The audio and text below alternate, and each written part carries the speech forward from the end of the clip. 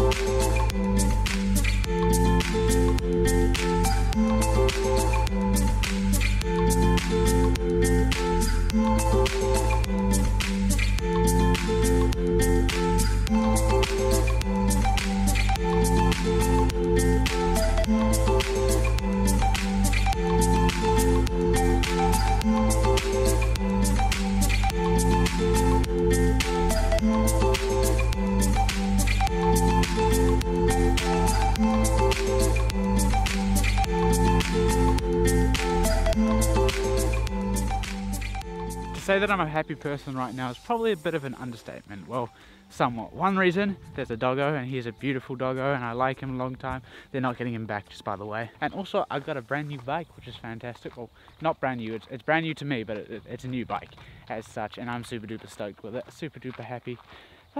yeah, today's going really well. I got the waifu, she's a beautiful person and, and hopefully she, she'll have some good Instagram photos because yeah. I took a few. Yeah, on what's account though?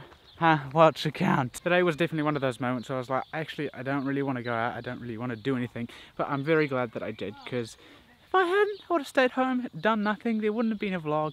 And it's just nice to have some fun and enjoy myself. But anyhow, instead, we're going over to my grandparents, or one of my grandparents, um, my nanny's, and we're going to have fish and chips and spend some time with her because I don't get to see her very often. So I'm going to be a beautiful, beautiful son Grandstand, that's the word I'm looking for.